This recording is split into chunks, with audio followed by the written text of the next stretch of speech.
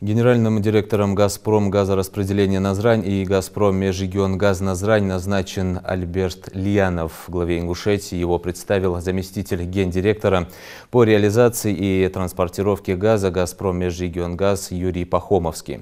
Он отметил опыт работы нового руководителя в органах государственной власти, в том числе Госдуме и ряда коммерческих организаций, что позволяет говорить о его понимании специфики работы компании, перспективах и планах дальнейшего развития.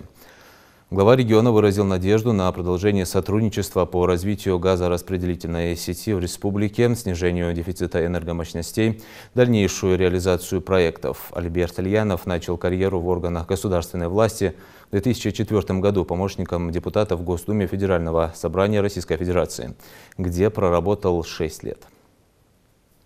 Для нас республика очень важна и необходимо, чтобы обсуждать те вопросы, которые у нас есть. Вы правильно сказали, вопросов много, но сегодня главный вопрос основной, это мы хотели представить нашего коллегу, э, получить ваше одобрение и согласие на его назначение. 6 э, марта было принято решение Советом директоров о назначении э, э Альберта Борисовича руководителем, э, Льянова руководителем Э, нашей компании, которая называется «Газпром Межрегионгаз Назарань» и «Газпром Газораспределение Назарань». Он тоже управлять будет как управляющая компания. А, там уже все. Да, да? и он сегодня не хочет, Очень чтобы правильно. там э, работал какой-то иной исполнительный директор, пока хочет сам разобраться в этой ситуации и активно подключился.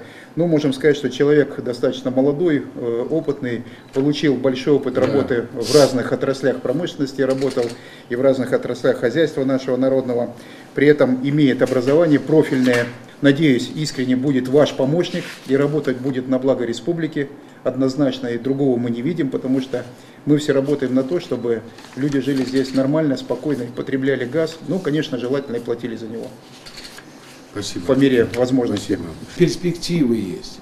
Единственный критерий, мой критерий был всю жизнь, это порядочность. Специалист всегда добьется изучит, еще. А вот порядочность, если он пришел на государеву службу, это не слова, это не пафос. Вот пришел ты и делай все проверки. Прошел человек, тем более на таких должностях, должностях был.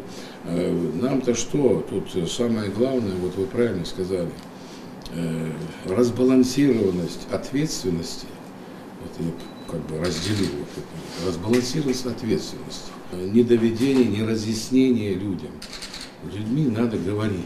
Особенно меня волнует вот это абонентский ваш вот этот отдел.